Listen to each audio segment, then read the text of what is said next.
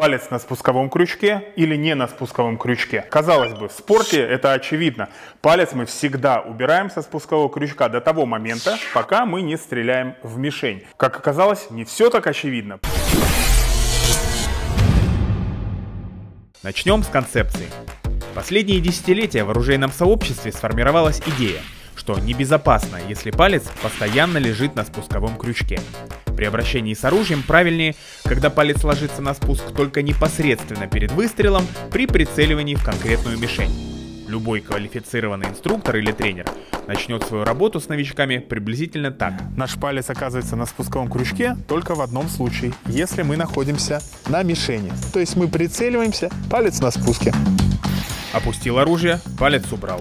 Прицелился, положил. Опустил, убрал несколько осознанных повторений, и навык начинает формироваться. Новичок какое-то время будет испытывать стресс и дискомфорт, что может отвлекать его от дисциплины на спусковом крючке. Но если вовремя напоминать, то уже к концу первого занятия будет очевидный результат. Как минимум, в таком спорте, как практическая стрельба, этот навык считается необходимым. Потому что если споткнешься, что-то произойдет, нештатная ситуация, ты нажимаешь, и пуля летит в неизвестном направлении. Это касается практически любого человека, когда тот держит предмет в руке. Вдруг споткнулся, и чтобы не выровнять этот предмет, человек хватает его покрепче. Это происходит неосознанно, на уровне рефлекса. В физиологии человека выделяют так называемые спинальные двигательные автоматизмы – за этой не совсем понятной формулировкой стоит свойство человеческого тела непроизвольно реагировать на внешние раздражители. Именно непроизвольно. Именно так мы отдергиваем руку от раскаленного чайника.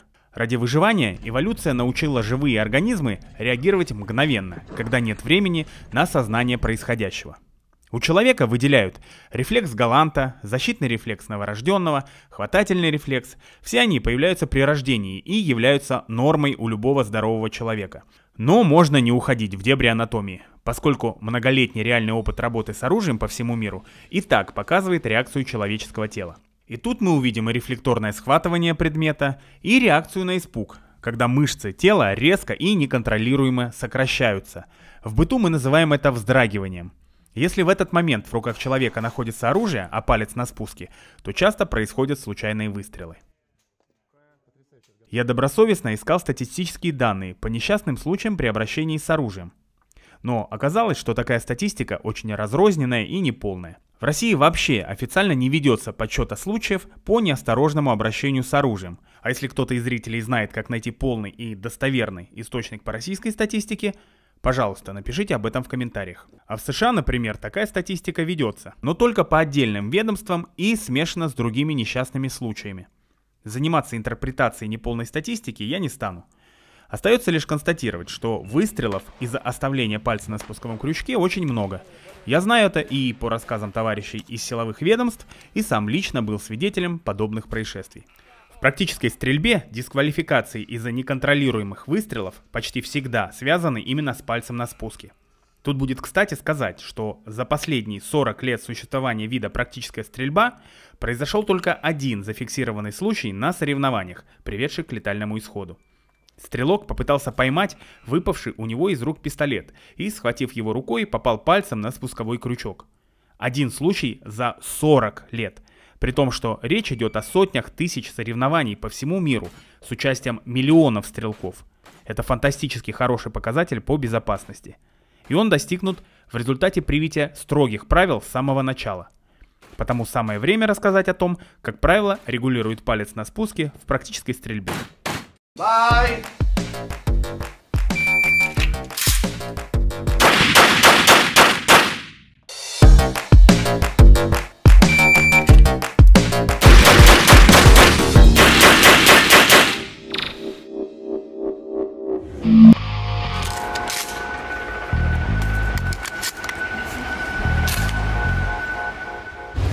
Кодексе практического стрелка есть четыре основные правила, но мы раскроем только одно, зато полностью. При любых манипуляциях с пистолетом, ружьем или карабином палец всегда остается вне спусковой скобы. Порой у опытных стрелков вырабатывается такая дисциплина со спуском, что они даже дрель держат со строго прямым пальцем.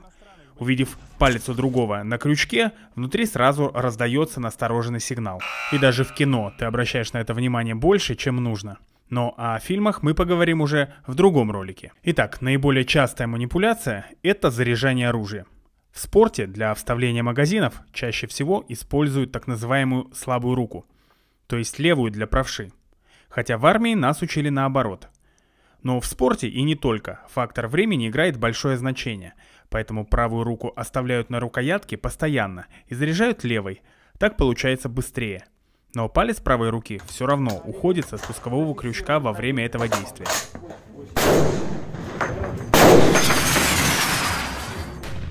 Есть попадание. Тут же рядом будет находиться и перезаряжание оружия после израсходования патронов.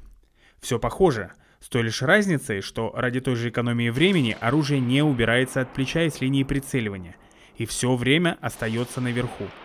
В такой ситуации легко пренебречь дисциплиной на спуске, и нередко неопытный стрелок случайно нажимает на спуск именно в этот момент. Так выглядит правильная перезарядка.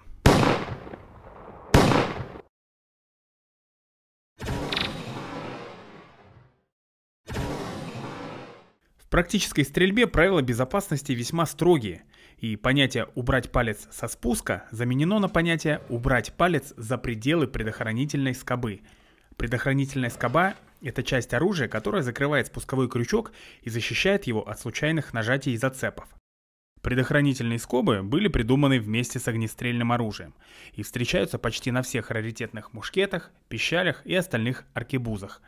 И только на фитильных ружьях ее не ставили – так как там спуск затянутый и долгий, по сравнению с резким кремниевым или современным УСМом. Средневековые военные были не дураками и сразу смекнули, сколько проблем может вызвать случайное нажатие. Вернемся в 21 век.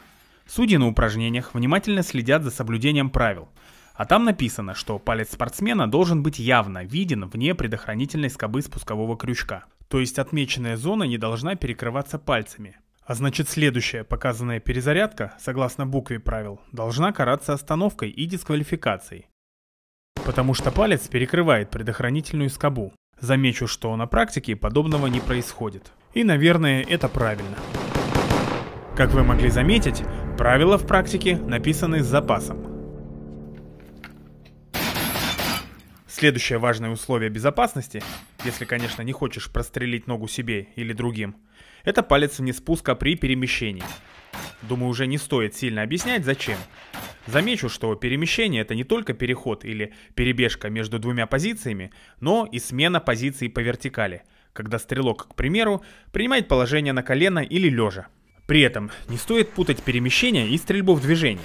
Вполне нормально, если палец находится на спусковом крючке, когда спортсмен действительно прицеливается или стреляет по мишеням в движении.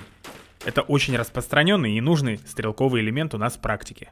Но пару раз мне приходилось слышать такое мнение. Все эти э, штуки, когда мы палец убираем со спуска, они нужны для спорта, для каких-то несерьезных дел. Под серьезными делами, видимо, подразумевалась тактическая или боевая стрельба. Если поискать по комментариям на нашем канале, то у такой точки зрения найдется не один сторонник. Более того, я своими ушами слышал мнение, что практическая стрельба убивает военную подготовку со своим параноидальным стремлением к безопасности. Надо сказать, в рамках нашего эпизода не все правила из IPC, из практической стрельбы работают универсально везде. Например, я всегда буду обращаться с оружием как заряженным в стендовой стрельбе или пулевой стрельбе иногда не работает. Второе правило. Я никогда не направлю оружие туда, куда не хочу стрелять. Военные могут проносить оружие через своих товарищей. Им невозможно действовать по-другому. Находясь в тесном коридоре, где там 12 человек группы захвата, они вынуждены направлять оружие туда, куда они не собираются стрелять. Следующее правило. Перед тем, как выстрелить, я всегда проверю то, что находится за мишенью и перед мишенью. Тоже не универсально, не всегда это возможно проверить. Не всегда можно знать, пробиваемая стена или нет. Короче, все не так ясно. Но четвертый пункт универсален для всех. Этот пункт, который работает и для военных, и для гражданских. Он полезен и для охотников, и даже для тех, кто занимается олимпийскими видами спорта. Я никогда не коснусь пальцев спускового крючка, пока оружие не будет направлено на мишень. Тут не нужно много слов. Достаточно посмотреть, чему учат в полицейских академиях или при подготовке в силовых структурах. Вне зависимости от языка обучения, везде действуют похожие правила безопасности при обращении с боевым оружием. Или почти везде. Все-таки я не знаком с системами подготовки поголовно всех подразделений мира. И снова, ключевым из правил, конечно же, становится положение пальца на спусковом крючке. Любопытно, что так было не всегда. Сама концепция появилась силами Джеффа Купера и его коллег на основе очень долгого опыта работы с оружием в правоохранительных органах. Время лучший экзаменатор, и оно показывает, что в любой точке мира, вне зависимости от менталитета, культурных особенностей, дисциплина на спусковом крючке сберегает жизни. В российской армии культура безопасного обращения сводилась к включению предохранителя и заряжанию оружия только по команде на рубеже. По крайней мере во время моей службы. Но теперь я все чаще вижу, что и у нас укореняется этот ценный навык. Для гражданского оружия это важно, а для мощного армейского и подавно.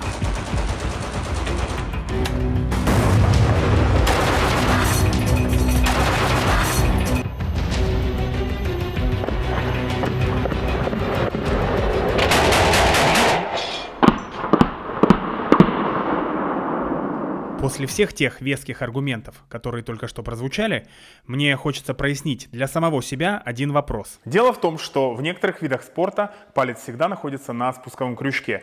Это Например, пулевая олимпийская стрельба. Палец всегда на спуске. Как только они берут оружие, у них палец сразу ложится на спусковой крючок, и они очень тонко чувствуют работу спуска. Для них это норма. Давайте немного посмотрим съемки с олимпийского соревнования. У всех Буквально, у всех палец на крючке. Я даже не собираюсь критиковать или рассказывать профессиональным спортсменам, куда им класть свои пальцы. Скорее всего, заряжать оружие можно только на рубеже. Наверняка не разрешается размахивать заряженным оружием. Наверняка есть вполне конкретный регламент по безопасности на каждом соревновании. Если кто-то из вас знает правила безопасности на таких соревнованиях, Пожалуйста, поделитесь в комментариях, будет интересно почитать. Тем не менее, мне кажется, что между спортивным использованием оружия и использованием его вне арены существует большой разрыв. Однажды мне довелось пообщаться с ребятами, которые занимались пулевой стрельбой. Там они стреляли из двустволки. И к своему разочарованию я видел, как они берут оружие буквально за спусковой крючок. С их точки зрения оно было разряжено. Ну и так-то они оказались правы, потому что выстрела не последовало, Похоже, что так исторически сложилось, что эти спортсмены всегда кладут палец на спуск. Теперь обратим взор на стендовую стрельбу. Здесь нет и быть не может бардака с безопасностью.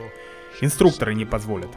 Оружие носят в переломленном положении, заряжаются на номере, и применение оружия и стендовой стрельбы на охоте вполне возможно, поэтому нельзя сказать, что оно оторвано от реальности. Но все же, мы видим, что и тут нет привычки убирать палец с крючка, и рука все так же использует спусковой крючок как часть рукоятки для того, чтобы держать оружие. Эх, было бы очень полезным узнать, происходят ли случайные выстрелы на стрельбищах по стендовой стрельбе. Стреляют ли оружие случайно в помещениях, в ресторанах или в комнатах отдыха. И сравнить с той же практической стрельбой. Но, к сожалению, такой статистики нам не найти. Поэтому только одна надежда, чтобы вы поделились своим реальным опытом. Вот мы и подошли к финальной части этого эпизода. Мне приходилось общаться с людьми, которые заявляли, что вот палец на спусковом крючке – это то условие, которое спасет вам жизнь в самых критических условиях. Один из телохранителей сказал, что он всегда держит палец на спусковом крючке, потому что неожиданно может появиться угроза, и он быстрее на долю секунды среагирует и выстрелит первым, что спасет жизнь ему самому, а также его подопечному. Я уже не раз пробовал себя в прикладных дисциплинах. Конечно, это не телоохранение, но все-таки дисциплины такие, как IDPA, оборонная стрельба, тактика циклическая стрельба, обращение с оружием в замкнутом пространстве, включая работу с оружием из автомобиля. И везде было требование – убирать палец. Это жизненно необходимое требование. Поэтому поначалу я воспринял мнение телохранителя в штыки. Но потом подумал, а вдруг его мнение обосновано? Тем более он добавил, что если дело касается стрельбы в тире на официальном зачете, то он убирает палец. А если дело касается жизни, он всегда палец кладет на спуск, потому что предохранитель у него в голове, он всегда контролирует ситуацию. А ситуация, видимо, должна быть такой. Ты ожидаешь нападения с пальцем на спуске, и когда оно происходит, ты моментально делаешь выстрел в преступника. Если же палец находится на расстоянии спускового крючка, то пока ты будешь его переносить на крючок, первым выстрелит бандит. Так это или не так, нужно проверить, сколько времени уходит, когда палец на спуске и вне спуска. Чтобы разобраться в этом вопросе, я пригласил лучших Эдуарда Декобаса и Алекса Эстева. Эдуардо Декобас, чемпион Европы, международный тренер, инструктор правоохранительных органов. Алекс Эстеве, международный специалист по безопасности и самообороне, тренер по боевым искусствам, сертифицированный ФБР, эксперт по огнестрельному оружию. Это люди, которые действительно разбираются как в спецназовских делах, как в полицейских делах, так и в спортивных. Приступим. Сейчас мы измерим скорость выстрела с пальцем на спусковом крючке и создадим для этого самые идеальные условия. Спуск будет легким, мы будем уже прицелены точно в мишень и главное, будем точно знать, что сейчас прозвучит сигнал к выстрелу. Потом мы проделаем то же самое, но уже с пальцем вне крючка. Сейчас палец внутри, курок спущен. Стрелок готов. Внимание. С заряженным оружием стрелять будет намного проще. Но с заряженным любой сможет. А я сдернул? Да. У нас есть видео, можем проверить.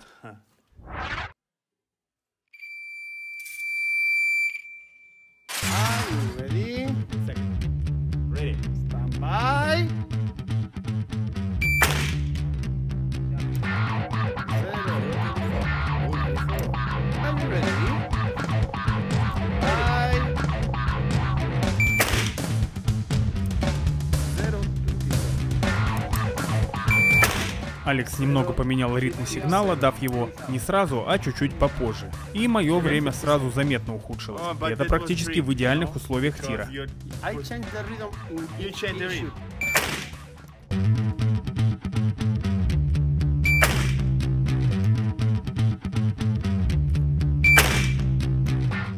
Seventeen. Вау. Stand by.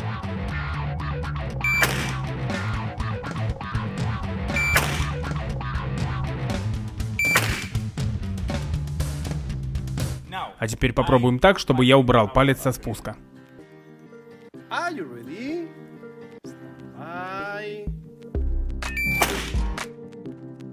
Zero,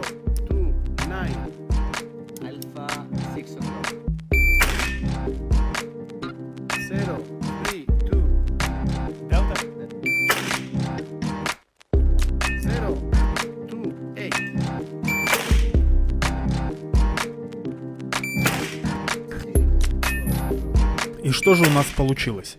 А получилось вот что. Мы очень старались выжать максимум из заранее положенного пальца. И выжили 0,04 секунды. С пальцем на спуске быстрее на 4 сотые доли секунды. Не десятые, а именно сотые. Глазами разницу определить невозможно. Продолжим. Ведь абстрактному телохранителю невозможно быть прицеленным в неожиданную угрозу. На то она и есть неожиданная. Добавим хотя бы минимальный перевод оружия в сторону. Хотя мы все равно видим ту мишень, в которую сейчас будем стрелять, и только ждем сигнала. Но все-таки давайте посмотрим, что получится. Первый проход сделаем с пальцем на спуске. И в среднем получилось около 0,7 секунды. Теперь все вместе убираем палец. И что же у нас получилось, когда мы сделали самое мизерное усложнение? Возможно, здесь сыграла роль то обстоятельство, что все мы опытные стрелки, а у неопытных получится как-то по-другому. Но это не точно. Так вот, получилось, что с пальцем вне спускового крючка мы стреляем даже немного быстрее, в среднем на 5 сотых секунды. И тут без замедленной съемки не разобрать.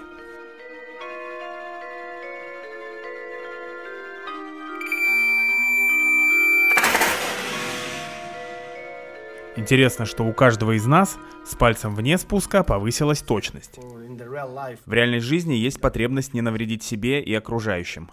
Разве так важно побыстрее надавить на спуск? Это важнее, чем точность? Разве не глупо стрельнуть куда попало и не знать, куда именно полетит пуля?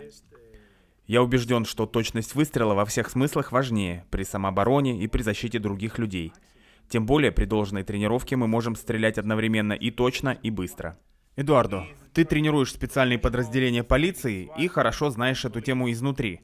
Что ты думаешь по поводу оставления пальца на спуске ради ускорения реакции на внезапное нападение? Когда мы находимся в такой ситуации, когда условия идеальны для выстрела с пальцем на спуске, то выигрываем в лучшем случае 5 сотых доли одной секунды. Это ничтожно мало. Тем более в реальной жизни такой ситуации никогда не будет. Если сделать ситуацию даже немного более реалистичной, то мы вообще не выигрываем во времени. При этом серьезным образом ставим под угрозу и себя, и окружающих людей. А реальная статистика такова, что полицейские получают больше огнестрельных ранений от собственных коллег, чем от преступников. Непонимание ключевых правил при обращении с оружием может привести к досадным последствиям. Что, блядь, делаешь? Или к весьма опасным. I just fucking shot myself. Случайные выстрелы – отнюдь не надуманная проблема. И есть простой, эффективный способ профессиональной работы с оружием. И вы сами уже можете помочь другим и показать этот способ. Оружейная культура не будет развиваться сама по себе. Мы с вами и есть оружейная культура. И только своими действиями мы сможем избавить общество от глупых стереотипов, что оружие несет с собой агрессию или создано разрушать. Нет. Оружие в наших руках призвано приносить пользу, давать положительные эмоции и защищать. Обязательно поделитесь этим роликом в сетях, и пусть больше людей узнает о том, как правильно вести себя с ружьем. А сами подписывайтесь на канал. В одном из ближайших эпизодов мы выясним, кто из киногероев самый лучший стрелок. Оказалось, что многие актеры по-настоящему умеют стрелять. Но вы, скорее всего, очень удивитесь, когда узнаете, кто же лучше в этом деле.